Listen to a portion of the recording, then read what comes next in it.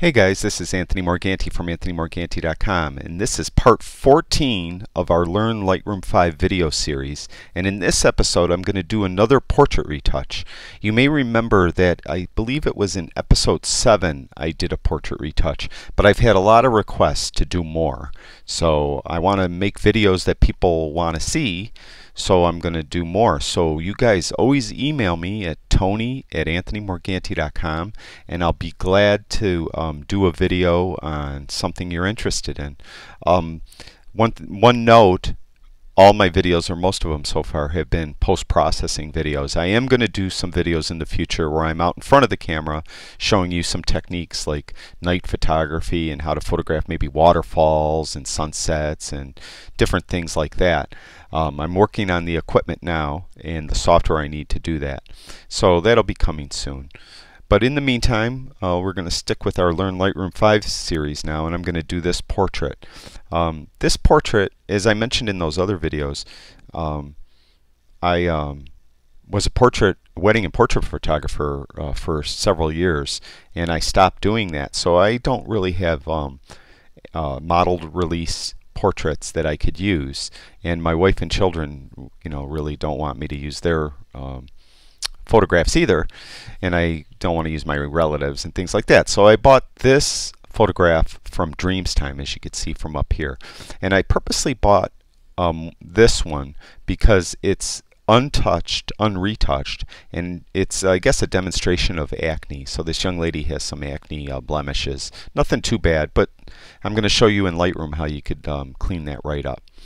I'm going to hit the I key to get rid of this Dreamstime up in the left-hand corner and it probably got to be uh, there now hit the I key and there that takes care of that. Alright the first thing I do is I use the spot removal tool um, to um, get rid of some of these blemishes. And you'll remember in episode 6 I went over the spot removal tool.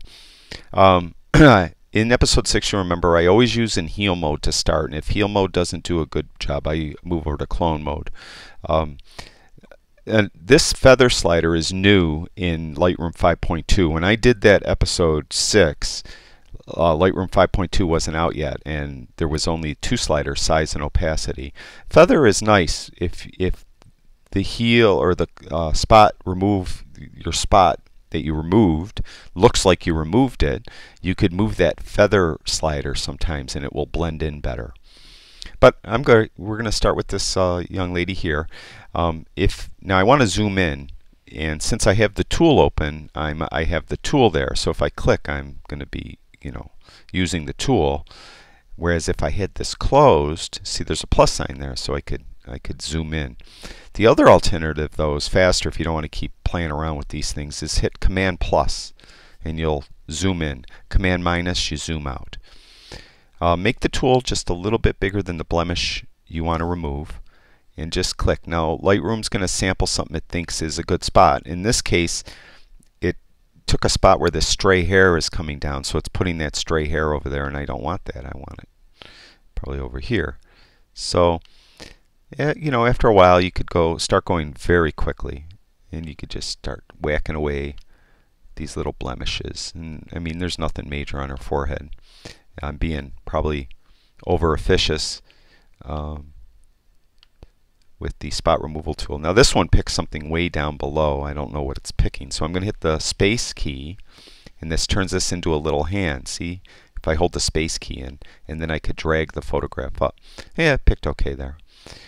So we could just uh, go relatively quickly I just got a larger one there. I'm going to wait on that one and get some of these smaller ones first.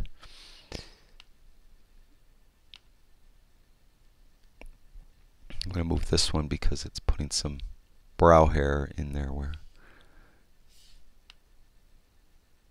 I'm doing this look like little white spots. I don't know if that's dry skin or what, but we'll just get rid of those two. And now let's see with these larger ones. I'll make my brush bigger by hitting the right bracket key. You want it just a little bigger than the blemish. And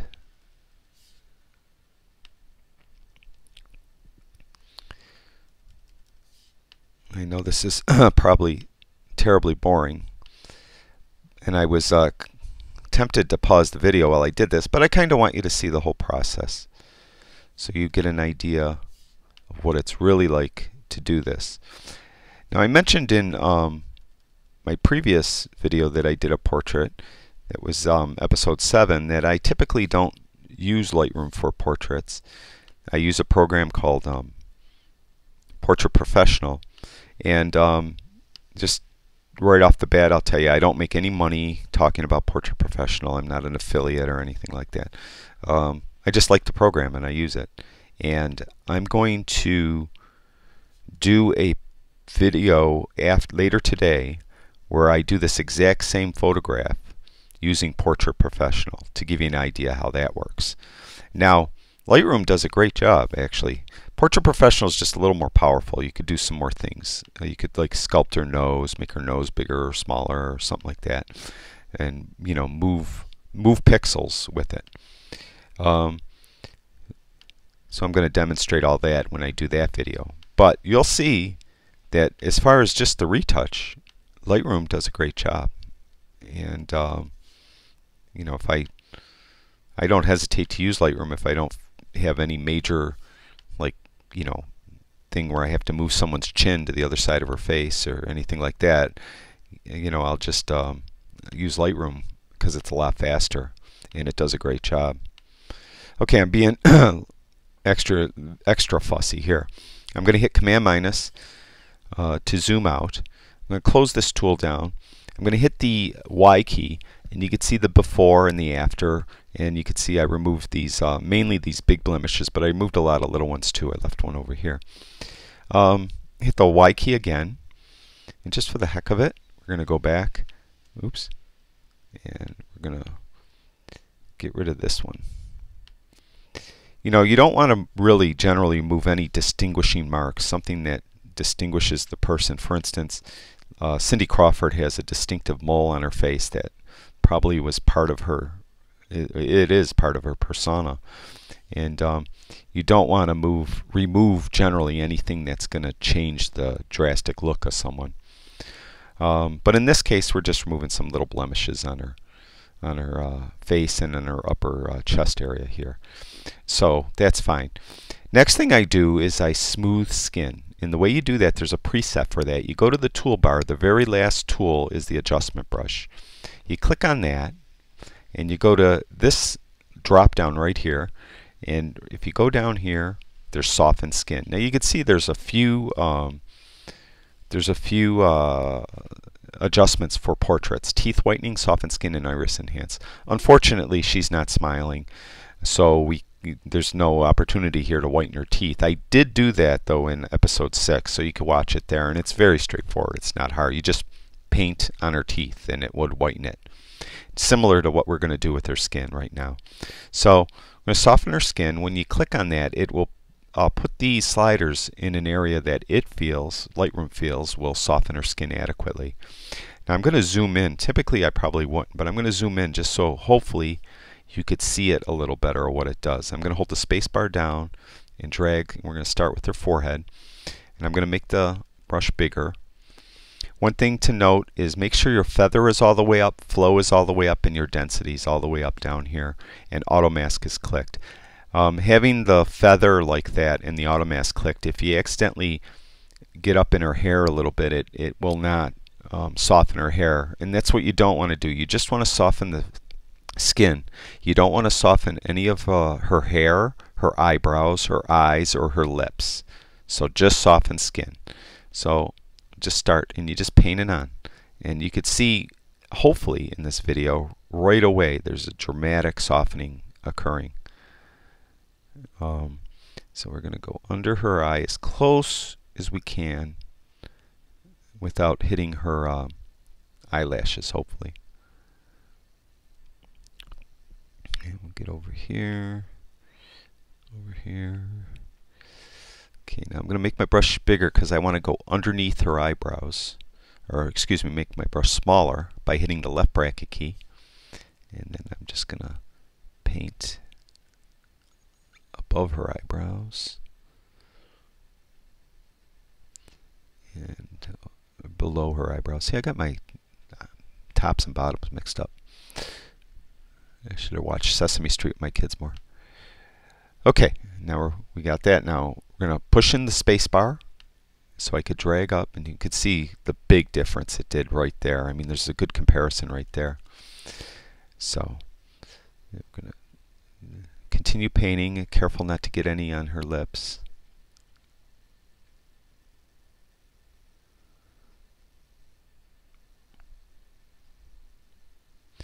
Now there's some dry skin or something here. I could go back later with the um, spot removal tool and deal with that. But in the meantime, we'll just get all the skin softened.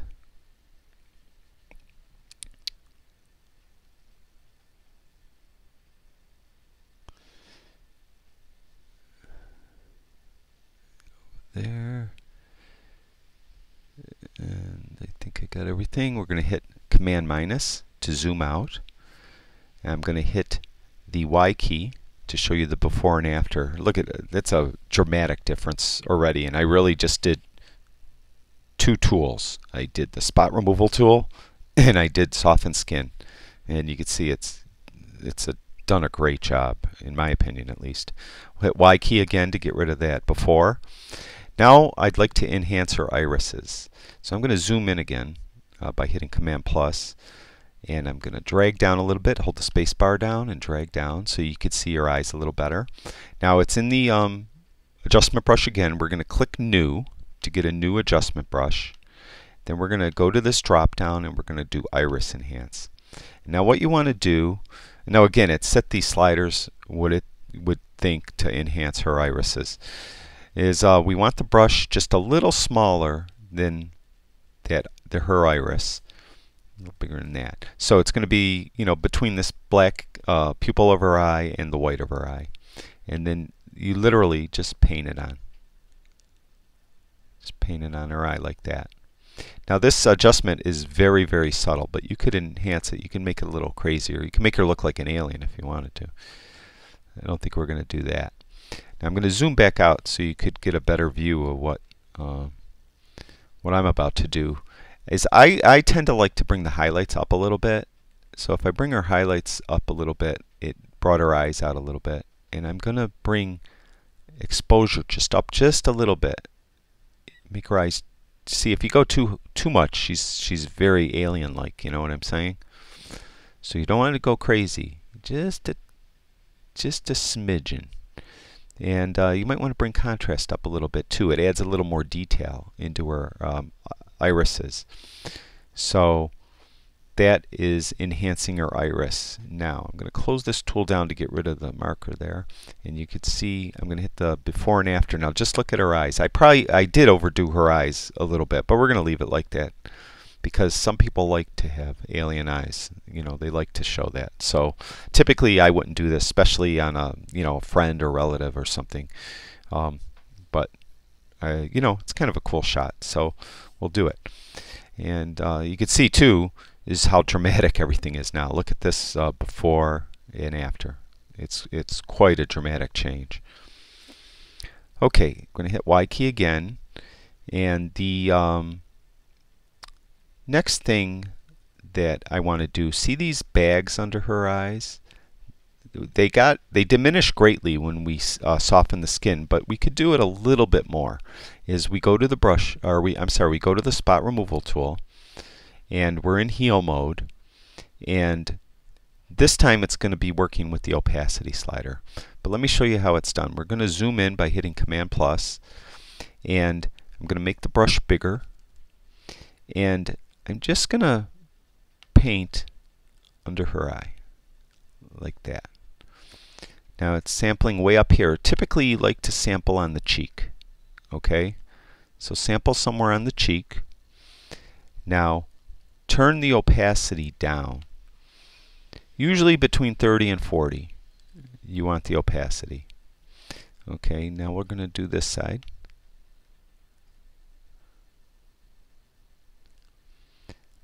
It sampled way up top again. I don't know why it does that but we don't want that. We want a sample from the cheek. Okay? And we have the opacity at 37. And that's good. Now, I'm going to um, zoom out, control, command minus, and I'm going to hit the Y key. Now you can see the bags here. And then you can see with the combination of skin softening and using the spot removal tool at around what I have it at 38% or so, you could see it it dramatically dramatically changed those bags under her eyes and she looks um, a lot less tired. So uh, that's that. Now, the other thing I like to do, um, a lot of retouchers like to do, they enhance the lips a little bit. And um, she doesn't have any makeup on or anything. A lot of times, you know, she might have had um, some lip gloss or lipstick or something on, and it it's you don't have to do as much. But in this case, we take the adjustment brush again, and there's no adjustment for this. Um, but if you go up here to contrast, just click on contrast. Well, first of all, we want a new brush. So click on new, and we want contrast. And we're going to paint a little bit of uh, contrast, and we're going to add some saturation to it uh, in a minute. But let's hit Command plus so you could see better and hold the spacebar in, drag up, and we're going to make the brush a little bigger. Now this we don't want to get on the skin, opposite of you know before. We just want this on our lips. Okay. Now we have contrast up a little bit. Could probably bring it up just a little bit more. Clarity, bring clarity up a little bit. Bring saturation up a little bit.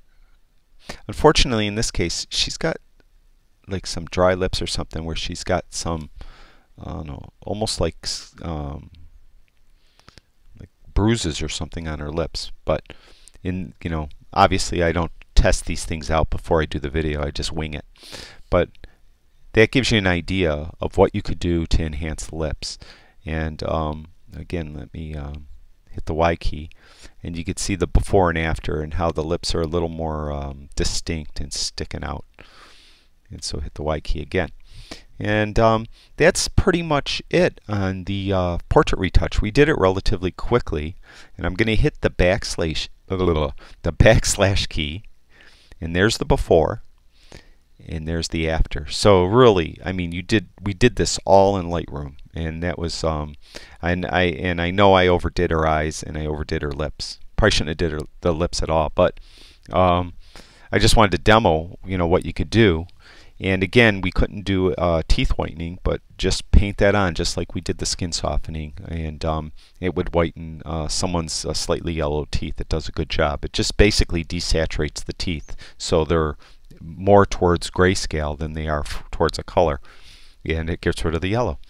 So that's it. This is episode 14 of Learn Lightroom 5, and I mentioned um, before later today I'm going to do a video uh, doing the same exact portrait portrait professional and um, you'll see it's going to pretty much come out like this um, but we'll do some sculpting where maybe I'll make her nose bigger or smaller or something like that this poor girl's probably going to kill me if she ever finds me but it was a model release photograph I'm sorry so anyways um, I appreciate everyone watching, I really do, and I appreciate everyone who subscribed to my channel, and if you haven't, I'd really appreciate if you did subscribe to the channel, and come over to my website, anthonymorganti.com.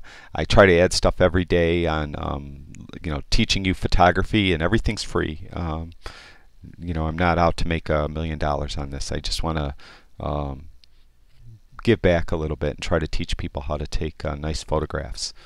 So again, thanks for watching, and I'll talk to you guys later.